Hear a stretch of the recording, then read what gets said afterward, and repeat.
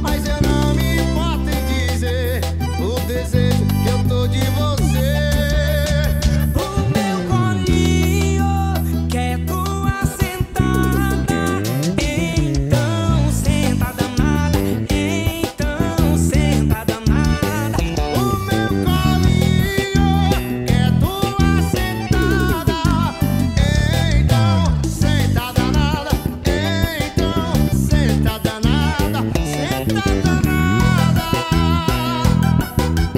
Bye.